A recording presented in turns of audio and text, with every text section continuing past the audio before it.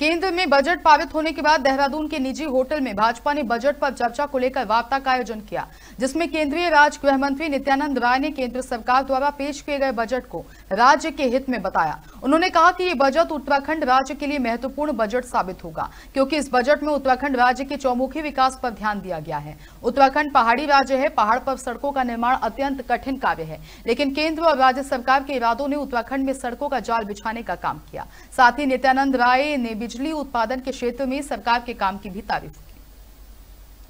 मोदी जी के मार्गदर्शन में जो बजट वित्त मंत्री जी के द्वारा प्रस्तुत किया गया है उस बजट को लेकर के जिस प्रकार से उस बजट में हर वर्ग और देश के सभी क्षेत्रों के विकास के लिए प्राविधान किया गया है और विकसित भारत का जो संकल्प भारतीय जनता पार्टी ने लिया है, आर्य नरेंद्र भाई मोदी ने लिया है, उस संकल्प को पूरा करने के लिए किस प्रकार से बजट में प्राविधान किया गया है, इसको लेकर के भारतीय जनता पार्टी के द्वारा पूरे प्रदेश भर में, पूरे देश में बजट पर चर्चा के कार्यक्रम आयोजित किए गए हैं। उसी कार्यक्रम के तहत आज हमारे केंद्रीय गृह राज्य मंत्री आर्य नित्यानंद जी का आगमन देहरादून में हुआ और उनके द्वारा शहर के सभी वर्गों के लोगों के साथ एक प्रबुद्ध सम्मेलन का जो आयोजन किया गया, उसको संबोधित करने वाले उन्होंने, उनके द्वारा किया गया। और इसके साथ ही उन्होंने पत्रकार वार्ता के माध्यम से सभी